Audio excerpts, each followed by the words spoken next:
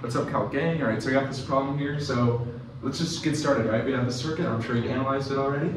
So let's get started with part A, right? Part A wants us to find the current here. So we're looking for the current in this part, right? The current in resistor R. So we know that there's the current of 6 amps here, and it splits off here, goes 4 amps, and then there's going to be some current in this, right? So we're trying to find the current through R. So by Kirchhoff's laws, we know that I is equal to whatever goes in, so 6 goes in, and then 4 goes out, so it's going to be 6 minus 4, and it's going to be 2 amps, is what goes through that, right? Because 4 amps plus whatever's in here, 2 amps, has to equal 6 amps. So we have 2 amps. So part B, there's part B asking the resistance, right? Okay, well we know resistance, it's pretty easy, but let's go ahead and figure it out anyway, right? So we know that, let's go ahead and do the, the whole loop thing, right? So if we start here and we go around the loop, right, we're gonna have a voltage of 28 volts, and then as we go through each resistor, before we reach the, the battery again, we have to have zero volts. So let's go ahead and present that. So we're starting out point here, right?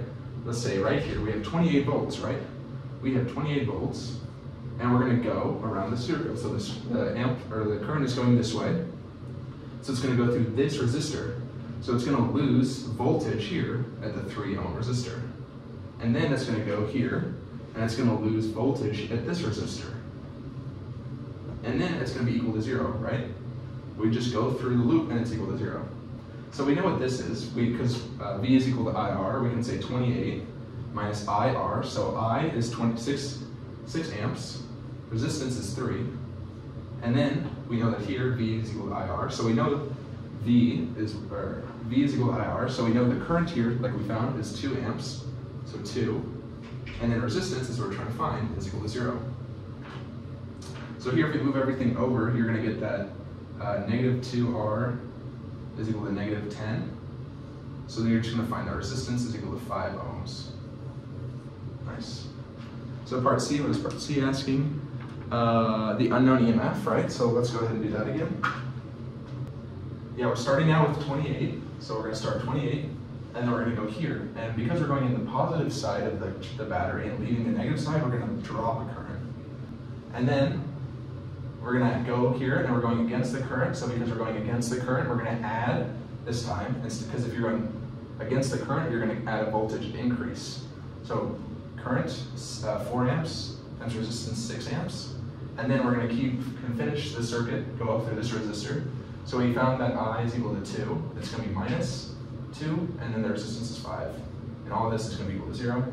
If you do the math on this, you're gonna get epsilon is equal to 42 volts. Nice.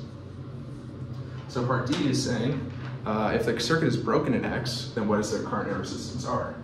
So we're saying that all of this doesn't exist now, right?